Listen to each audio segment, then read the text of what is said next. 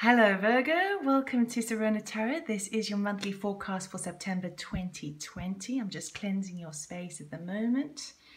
Okay, please do remember that these uh, messages are general, so take what resonates, leave the rest behind.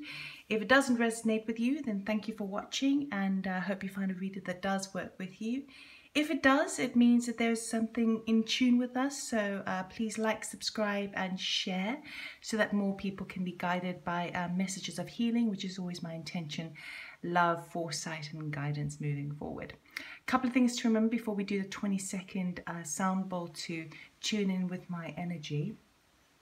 On the 17th of September, we have a new moon in Virgo, and that's all about cleaning up house, okay? All about organizing things and getting your affairs in, into order. And of course, it is in your sign as well, so it's going to be quite prominent. You're going to feel quite uh, strong and um, motivated to do so. And then on the 2nd of September, so the full moon comes before the new moon. So the full moon is on the 2nd of September in Pisces. And this is things reaching a bit of a climax to do with um, your sensitivity and your perceptions of your surroundings.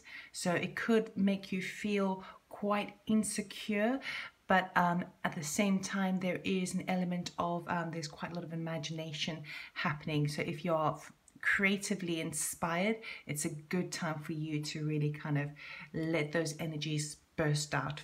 So before we begin, we're going to do about 20 seconds just to tune in with my energy. So you can fast forward if you don't want to do this, okay?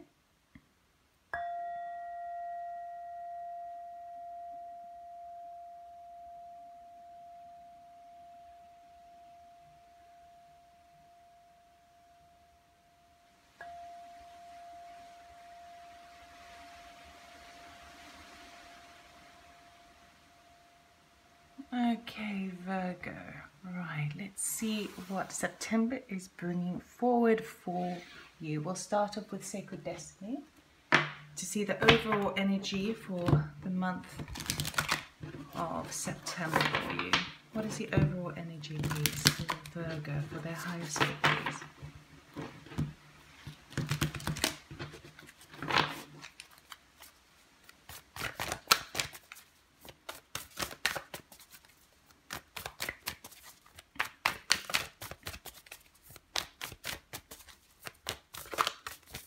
most helpful for Virgo, please, for the month of September 2020. It's too many. Just one card, please.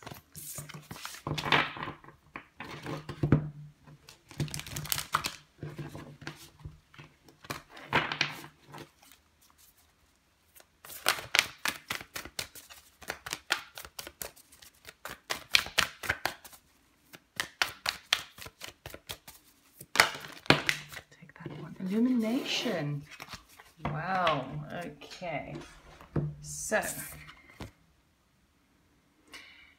illumination talks about things being brought to the surface, things where they've been hidden and quite misty in um, the past where things haven't been that clear to you. Illumination is going to be coming in specifically for you in uh, September where things are going to become a bit clearer, a bit brighter. You're going to see things for what they truly are. And this could come in quite strongly for you around the beginning of the month, especially with that Pisces full moon. Okay, so any areas in your life where you feel that you have been stuck or confused, that is being brought to light. Let's see what Moonology has for you.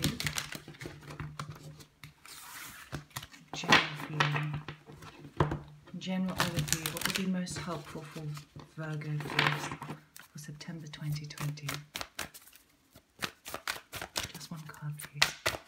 Or two. Virgo for the highest good, for the collective, please.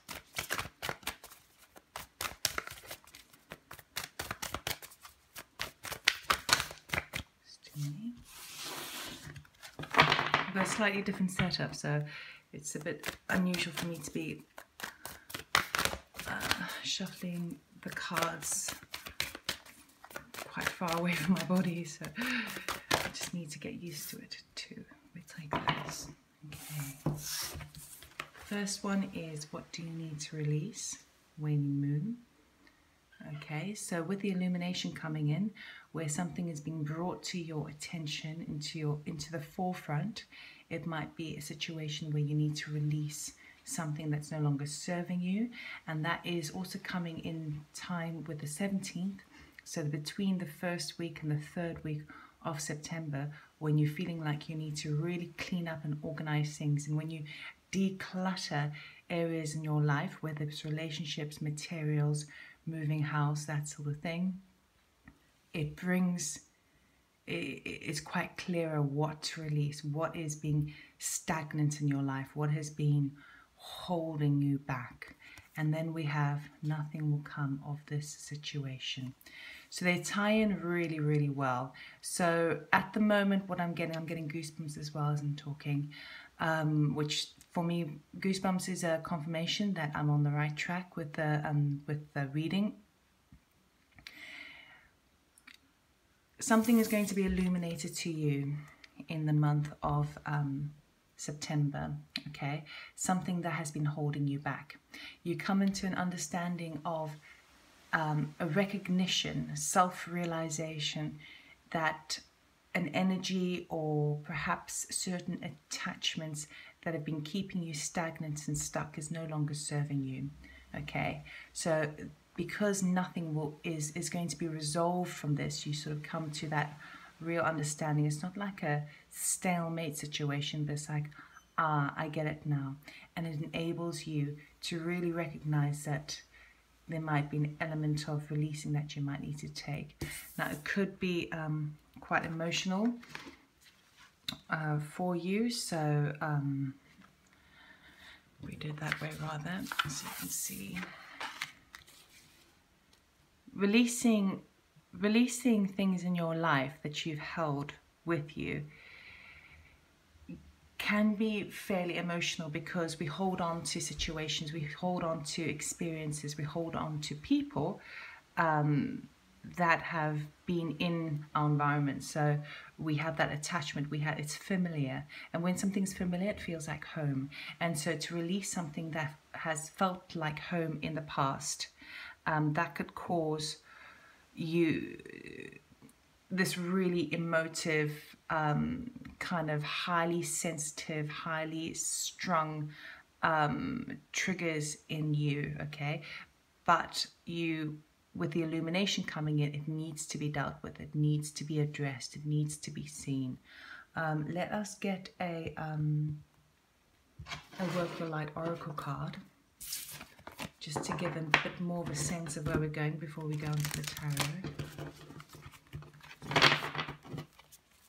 What will be most beneficial for Virgo for September 2020 for the highest good please. Some guidance, foresight and advice, please, for Virgo.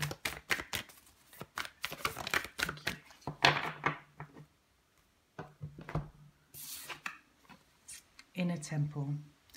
Devotion, tune into the portal of your heart. So this really talks about um, obviously activating the heart chakra over there, but really seeing your inner being, not just your temple the body temple, because most people think of it, oh, okay, body temple, I need to be being careful about um, my what nutrition I put into my body, what sort of activity and exercise I do, if I meditate, all that sort of stuff, um, how it affects the physical body you need to go deeper into that. You need to be deep, um, delving really, really deep into your heart space, tuning into your heart space. And this begins, it can only ever begin with self love.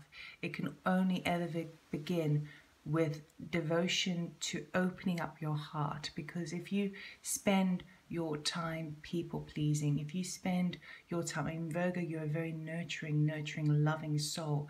But oftentimes the problem can arise when you've been overgiving. You've been spreading yourself too thinly by helping and nurturing others. And you need to turn that energy inwards into your heart space and start to really heal your own heart and open your own heart to your own divinity. Okay, and by doing that, that is going to enable you to really for the illumination to come in much faster, much stronger, so that you can cut the cords of the areas in your life that are really dragging you down okay and it allows you to be when you once you tune into the portal of your heart there's no denying it and once you're able to see it for what it is it enables you to um, be true to yourself okay because no one can do that for you um, so slightly different setup from last month. I've got the Good Tarot, um, tarot deck here by Colette Baron-Reid, but I've taken out all the major arcanas. We're going to be um, using the majors as an anchoring and then we'll clarify with a fountain and a gilded tarot. Okay, so we'll get three cards, the general overview for September. please get three cards for Virgo for September 2020 for the highest good. Love, healing, support, foresight, guidance, advice. Oh, hello. Hmm we have Fortune's Wheel. Right, so there is a twist of fate. This is uh, where synchronicity meets destiny in your life, okay? So whereby things have been working, feeling perhaps like they've been working against you. Fortune's Wheel is divinely guided and it comes in to really give you the recognition of um, um, where things are changing. As soon as you're able to make that shift, Fortune's wheel comes in and stirs it up even more. Can we get another two, please, for Virgo? We'll clarify, of course, and get a bit more information. Delve deeper. Oh, too many.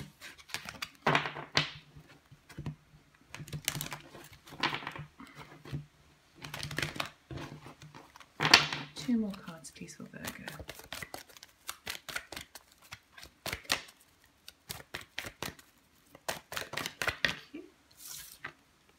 Temptation. Mm. So these are the attachments I was talking about. Remember I was talking, I picked up on the sense of attachments, attachments that you're needing to release, okay? So attachments can come in the form of relationships and can come in the form of um, material, um, financial constraints. Um, these are attachments that may not necessarily need to be there. There might be a bit of a, it's like, um, what am I saying? There's a, say for example it was a relationship and usually there should be equal give and take right? Equal give and take. Loving free energy with no expectations. Temptation would come in whereby there is an element of expectation in the relationship. So what happens is the give and take is no longer free. It is either expected um, and if it's not received or given when expected, that's when it becomes unhealthy and that's when it becomes an attachment because the free will and the free love that, that goes in that energy has been um, bounded, it's been chained down into a, into a particular routine which is kind of causing you to feel a bit sort of stuck and stagnant. Um, right, let's get another one, please. Virgo. hello, thank you. And the chariot, that we have victory here. Okay, this is fast movement forward. The chariot um, is uh, is that courageous energy. It could also be physical movement as well, physical move, because this often refers to vehicles or um, an actual journey of sorts. But ultimately, it's about victory. It's about harnessing the shadow side of yourself, harnessing the light, and then thrusting forward, taming both sides in fast action moving forward. So these are really, really promising. And especially with the under these, it makes a lot of sense because we've got this illumination brings a, um, a change in your fortune coming positively aspected. This attachment is under the moonology here, which are those things that you need to release because nothing is going to come of that situation the longer you hold on to it. And this inner temple, this devotion to your inner space and your inner being, is going to allow you, once you open that, to thrust forward with victory and triumph. Right, let us use, we're going to use the Fountain Tarot to clarify some of these cards for you and see what comes up. Now remember, I have to be fairly general in my reading because it is a general reading. I can't be too specific, which is why I'm keeping it more simple. And of course, my intention always is um, for spiritual advice and guidance. So you take it as it resonates. Let's see.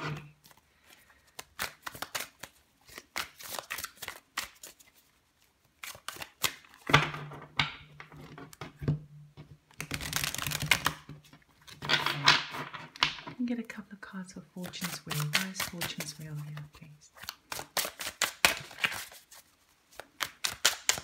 Why is Fortune's Wheel here, please? Thank you.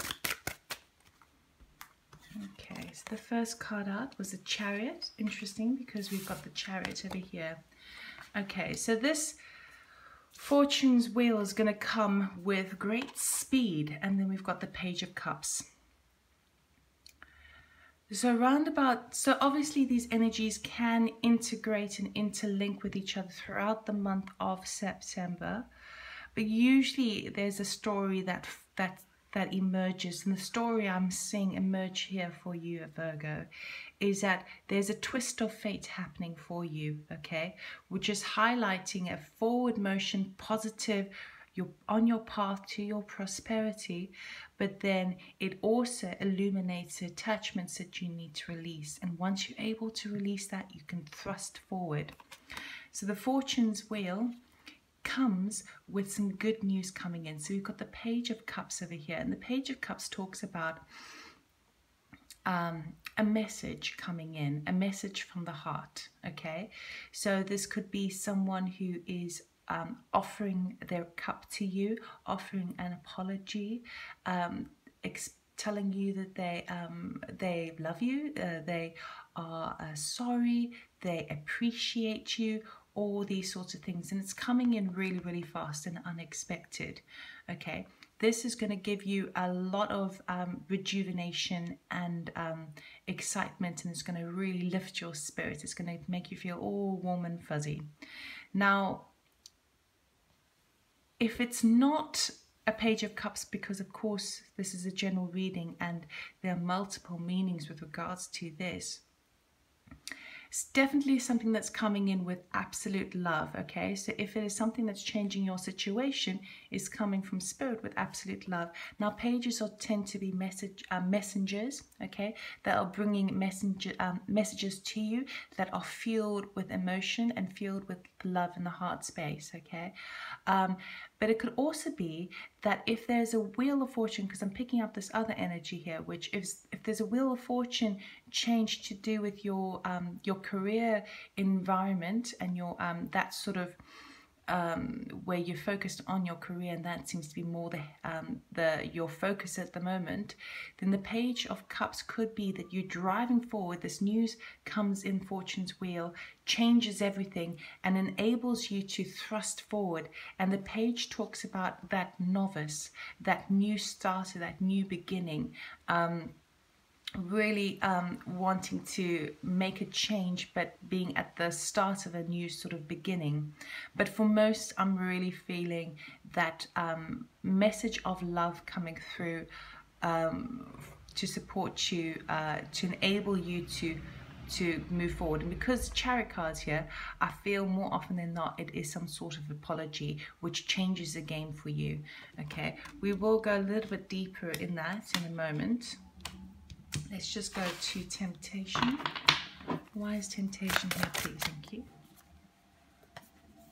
High priestess. Okay. So, there is an element of the temptation, these attachments that you have, you are actually not fully aware of it. That's where the illumination comes in. So the, the high priestess talks about uh, mysteries and talks about secrets. It also talks about being intuitively in tune with your higher being, your inner self, right? So these attachments that are going to be um, being illuminated to you um, with what you need to, um, you start to see it from a distance and knowing that mm, this is not serving me, this is not serving me, this is not serving me, I need to release that. That's going to come to you in dreams, it's going to come to you intuitively and also might be um, it's more often than not it's going to be a situation whereby you had no idea. It was almost like it was completely hidden from you okay? Uh, let's get something yeah we'll take you. Four of wands. Ah lovely okay. So um this is talking about um it's almost like you've been in this um not delusion because it's not the the moon card here but it's almost like you have not really been aware of the attachments you've had in your stable living environment okay? And that's what's being illuminated for you. That's what's being brought to the surface so you can really see oh my goodness i'm attached to things. I am attached to stability.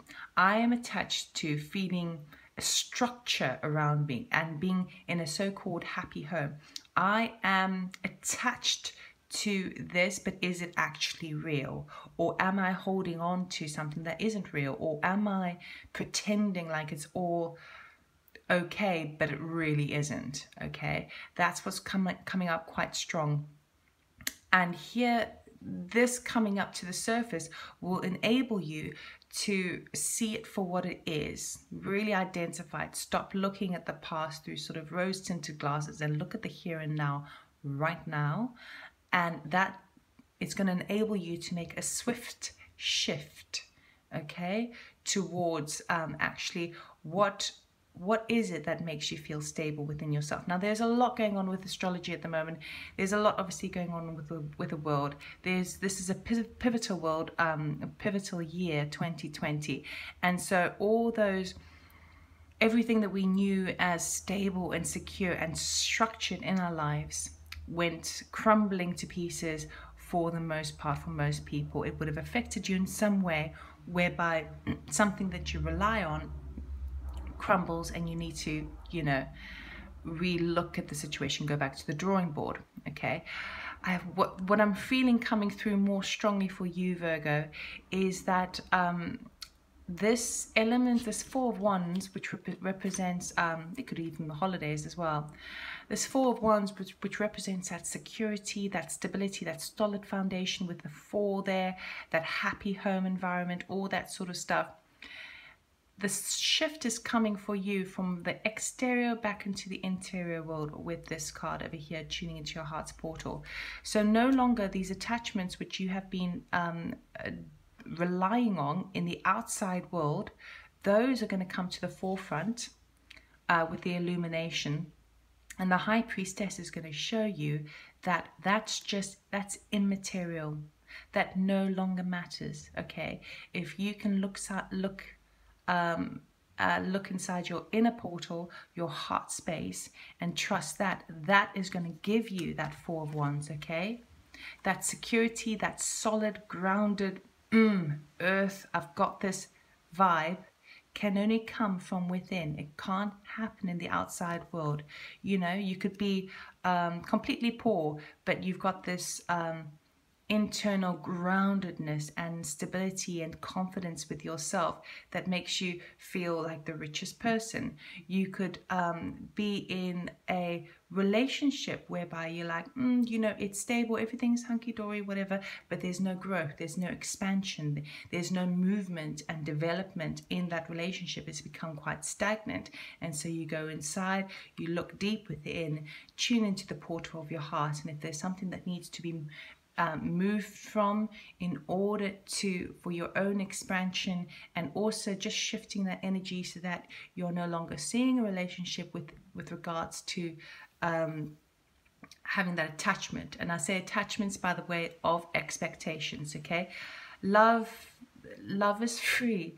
Um, love is free will. Uh, you cannot um, doesn't matter how long you've been with somebody how many children you have all of that sort of stuff there must still be that mutual respect of give and take, give and take, give and take that happens freely. The minute there becomes a tit for tat situation, or the minute there are expectations of, well, you know, you've always done this and now you haven't done this, um, that's when the um, energy has turned from that loving openness to more of a stagnation, more of a bounded chains vibe. Um, so it's it, it's about really kind of tuning in with firstly within yourself, uh, in your internal world, um, because whatever you do in your internal world, it will affect your exterior world, but perhaps you have been doing it the other way around. So this is where the illumination comes in. Um, anything more for the chat? Anything for the chariot, please? For the chariot for Virgo for the highest good? What are they racing towards with victory? The month of Oh, beautiful. We got the star. Okay, so this is a major arcana, just like the chariot and the high priestess as well. The star speaks about having trust, having faith, um, and deep inner healing, okay? And that's what you are. This is also the things that you wish for, the things that you hope. And it's saying to you with the chariot, if you delve into the portal of your heart, open up, release these, you are going to be rushing forward with great speed and moment, momentum into your wishes, into those that which you hope. And part of that might come an element of healing, inner healing, and being stripped of all your. A star is, uh, I think she is naked here yeah so the um the star card is usually uh, in tarot depicted as a naked woman amongst water with a bowl of water and it's all about cleansing it's all about purification okay? And she's naked because she's now open she's made herself vulnerable and she's saying this is she's like calling up to the star this is what i believe in. This is what i want. This is what i hope for. I want to be able to heal areas of my life that are no longer serving me so i can thrust forward towards my prosperity path okay? And in order to do that you need to be stripped of all those exterior attachments. you need to be you as you. When we die, we can't take any of this stuff with us. We can't even take the relationships with us. You know, uh, we take the memories, everything is actually within. When we're born, we're born butt naked, right? So you really are stripping away in September. You're stripping away all those external attachments that are have been keeping you um, chained and bound, okay? Oh, thank you. Oh my God. And then we've got the sun. So the sun is shining for you. This is about abundance. Again, victory with, with the chariot and the sun over there. It talks about victory, abundance. Um, this is good health. This is money coming in. This is prosperity. With the star and the sun, I mean, you've got both huge um, astrological placements that are really shining their light. Okay, the, the star is guiding that way, and the star. Um, the guidance that comes up is then lit up by the sun, and the sun is all about illumination, which is over here. Okay, so things are really going to start becoming very, very clear to you in the month of September. You're going to be ending, yeah, you're going to be ending the month of September a completely different person. Um, you're going to be a bit more solid, a bit more confident, not a bit more confident, a lot more confident because things are working in your favor and you are being pushed and, and um, um, sort of uh, this good news that's coming in, this messenger that's coming in. Um, it's like, it's not like it saves the day. I don't know why I heard saves the day, but gives you that permission slip, if you will, to really kind of go, okay, right, I need to declutter my life. I need to really strip myself bare, figure out what is really, really important for me. And I can only do that by being true to myself, by looking deep within to my heart space. And once you do that, and once you release these burdens and these attachments, you are flying full throttle ahead. So, a really lovely September for you, Virgo. Um, I hope that this resonated. If it did, great. Uh, please like, subscribe, and share. Comment. I love to read the comments. And um, I wish you a wonderful September, and I'll see you next time. Take care. Bye.